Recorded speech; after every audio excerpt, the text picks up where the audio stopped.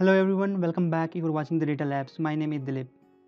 In this video, we will learn about how to create a dynamic calendar in Excel worksheet. Here you can see that I have already created a calendar which is totally dynamic and uh, I have used only uh, Excel ba basic Excel functions. I have not utilized any macro code in creating this and uh, no advanced Excel uh, functions. Just simple basic function and some formatting and that's it okay. And this uh, calendar is uh, you know dynamic. So you uh, here you can enter any of the you know year and you can select any of the month for that uh, that specific year. And this calendar will be automatically changed basis on the uh, given value in this particular cell like this one for year and uh, this is for you know a month. So let's enter 2019 and as i am recording this video in may 2019 and the today date is 4th of may 2019 so uh, let's uh, select uh, May basically. And okay. So now you can see that it's a it's this calendar has started showing the calendar for May 2019 right? And today is as uh, 4th of May and today is Saturday. So you can see that uh, Saturday has been highlighted uh, Saturday has been highlighted with a blue color right? So this is dynamic and uh, no, you can use this calendar whenever uh, you need uh, to prepare calendar on worksheet and uh, want to showcase uh, some value or highlight some dates in your reports then you can use it and uh, use it this dynamic calendar right? And it's very very easy to create this calendar. So let's let's create this calendar from scratch. To do this just press ctrl n right? And save this workbook to uh, to save this just uh, press F12 and just give the name as dynamic calendar in worksheet. Exercise. Right. Now uh, just uh, rename the sheet as dynamic dynamic calendar. Okay. Just go to view tab and remove the grid lines. Right. And now uh, we, as we need to uh, create a seven uh, a basically a table for seven rows and seven columns. So let's uh, select uh, it from you know d7 basically from here. So d7 to uh, j7 and let's go to home tab basically and apply the border all border. Okay. Now st start writing the monday. That's caps lock on Monday Tuesday Saturday and Sunday right? Now select the uh, select the range from D7 to you know J7 and uh, go to home tab and then uh, select the uh, font as Copperplate. So Copperplate you know so not the bold one just select the lighter one right? Make it uh, center aligned middle aligned right? Just click on bold and font size should be 13 so let's increase the font size. Even 13 right? And uh, fill color should be gold accent. This one. Okay? So now we have successfully created you know uh, on the header part of the calendar. That is you know. Now select the uh, uh, range like columns basically. All columns from D D to J. Right click on uh, uh, and width. And set as uh, column width as 8.43 that's the default. Just keep it as it is. Now select the row. So from 7 to 14 right click on it and row height should be 24 okay? Now click on ok. Right? And uh, as we have created the uh, the header part and and the calendars right all the cells let's move to uh, previous calendar right and now we need to create this one uh, for to enter the year as well as to select the month here right? So let's move to exercise sheet uh, worksheet basically and uh, let's minimize the size of this particular row right? Now merge uh, the cell d5 to e5 go to home tab and click on merge and center okay?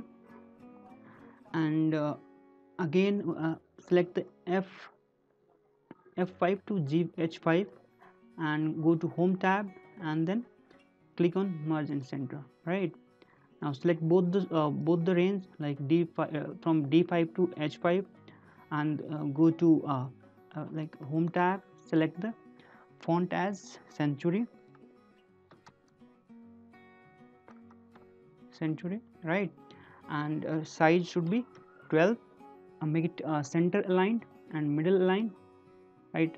Select the select the font uh, like uh, fill color as uh, gold accent for lighter 80% right? Now uh, enter uh, the value year 2019 and now we need to uh, create the drop down here. So before creating the drop down let's apply border. So just select the range control 1 and uh, just uh, select the color as you know uh, blue and the, select the double line okay? Right now select the uh, uh, cell from f5 to h5 that is already merged. Again press control 1 and you know just uh, select uh, this one dotted line and select the color as black and apply the left side border right so we need uh, we have created this one. Uh, let's uh, create the drop down to create the drop down we need to know give the reference like we need to write down month from jan to december. January okay. And let's uh, use fill handle to fill uh, from jan to december okay. Now it's done. Now let's go to uh, select the f5 press press alt d l. So once you will press the alt d l shortcut key then it will open the data validation window right? In data validation window just uh, click on settings and in allow drop down just select the list and in source just provide the ranges where our month months are available. So it is available in from b7 to b18 okay? Now click on ok. Okay so now you can see that uh, it has started showing. So let's select may as of now right? And now we need to uh, generate the date basically. Uh, what is date? First date of uh, selected months so to do that in just apply the formula that is date right? And in that uh, date uh, you can see that there are three parameters which is required. First one is year the second one is month and the third one is date uh, basically. So let's uh, for year just give the reference of this cell and uh, just uh, press f4 to make it you know absolute reference right? Now put the comma. Now we need to uh, find the month basically right? So uh, to find the month let's match let's use the match function okay? And lookup value select this one the selected month may. Again press f4 to uh, make it you know a fixed uh, uh, absolute reference right? And just put comma. And we need to provide the lookup array. So for lookup array just select the months from like b7 to b uh, 18 right? And again just press it like press f4 to make it absolute. And now press comma and then 0 it means we need to uh, uh, exact match. Okay? So now we have passed uh, year and the month number okay? And let's put comma and uh, enter one as a day right? Close the bracket and press enter. Okay? So now you can see that uh, you know it has started showing uh, the number basically the date uh, in this particular cell. Let's uh, click on J and we need to apply a, a, weekday function right? So weekday just select the weekday and uh, no start uh, bracket then provide the reference. So we need to pass its uh, no, date in this particular weekday function. Then just select this one. That is i5 which is date and press f4 to make it absolute reference right? And just put comma. And you can see that there are a lot of you know uh, uh, return type. That is 1 2 3 uh, so we need to select uh, you know 3 as a reference. Now uh, click on uh, so uh, once you click on you know like so this formula gives the output as 2 so now we need to utilize this number while calculating the day of the month. So let's select the d8 press equal sign and select the date.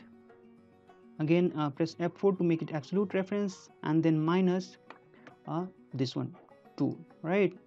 And F4 so closed so now you can see that you know uh, it's showing 29th April 2019 now click on uh, like uh, select the E8 like press enter and select the reference of this cell and then plus 1 okay? Now just uh, drag this and press ctrl r to fill this same formula and control d to uh, fill the same formula right okay. Mm, now select uh, like uh, this these are the blank cell basically. So we need to provide a, formula. So uh, the formula for this one should be the sunday uh, plus 1 the last date uh, for this week plus 1 right? And uh, fill the same formula below. Press ctrl d right? Select all the cells uh, from starting from d d8 to j13 and press ctrl 1 right? Go to number and just give the uh, uh, you know, formatting style as you know only dd so we need to showcase only a day not the entire dates like full dates okay? So just press dd and click ok. So now you can see that it has started reflecting on the day only. Now select the entire range from uh, you know uh, d8 to j13 and go to uh, home tab make it uh, you know center alignment and middle alignment right? And font as Britannic bold.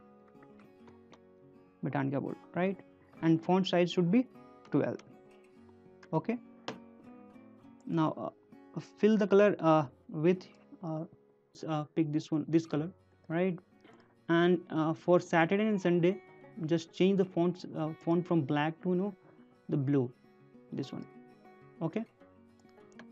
Now we uh, we need to uh, we have to apply uh, the uh, conditional formatting so that uh, the dates which do, which doesn't belong to this particular selected month should be should have you know different background like back color as well as the font and the font color. So select all the cell and go to uh, home tab then conditional formatting and then new rule okay?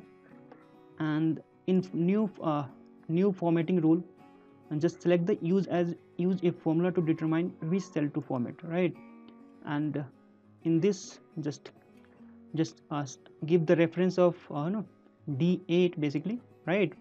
And just press uh, f4 uh, like uh, to switch from absolute reference to uh, you know dynamic reference right? And this should be less than this one the date available in i5 okay? So if any of the date is less than this then uh, the color of you know fill color should be white and font color should be no, gray right? Click on ok. Again ok. Now you can see that uh, is it 29th and 30th you know both the dates are not belonging uh, does not belong to you know the May and that's why it started showing the, this color okay? Now we need to apply the conditional formatting for those days which are not the part of May like uh, which belongs to uh, June. So uh, let's uh, select this as well again and go to conditional formatting like home tab then conditional formatting and then click on new rule right? And in new form new formatting rule win, window right? Just select the use formula to determine which cell to uh, format. Now click uh, in the like apply the formula. So let's select uh, d8 and press f4 to switch from absolute to dynamic range right? And press greater, greater than sign. And we need to apply a month right? A function end of month.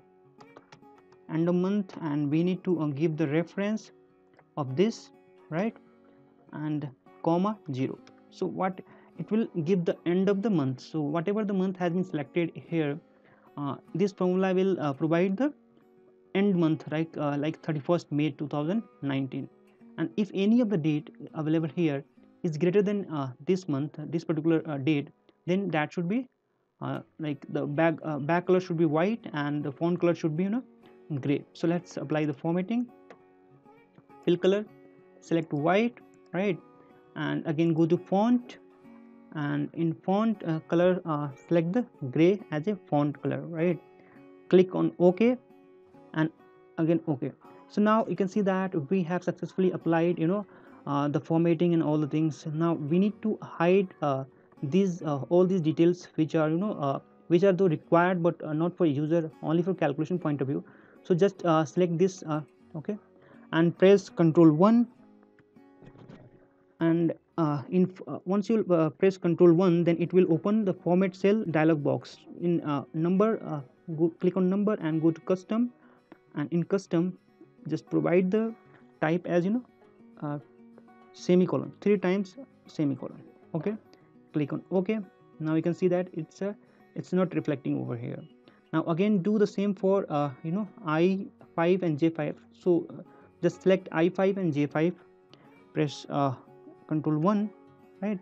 And again uh, in format cell click on number then custom and provide the formula as 3 semicolon. 1 2 3 right? 3 semicolon click on ok now you can see that uh, it's not showing. Now select the uh, you know uh, columns from d5 uh, to uh, sorry d to j and right click on these columns and column width and just change the column width from uh, like uh, to, to 8.43 click on ok. So now we can see that if we have successfully created this uh, calendar let's uh, select any of the date any of the month basically from june. Now you can see that in it started showing the uh, the date for june and for october. You can change the you know year as well. And let's enter 2020 and select the in January. So you can see that uh, it's started showing the calendar for January as well. So this is you know uh, uh one of the best way to create a calendar with the simple basic uh, you know Excel uh, formula as well as some formatting. Hope you enjoyed this video. Uh, thank you for watching. Please like, share, subscribe and comment. Have a good day. Bye bye.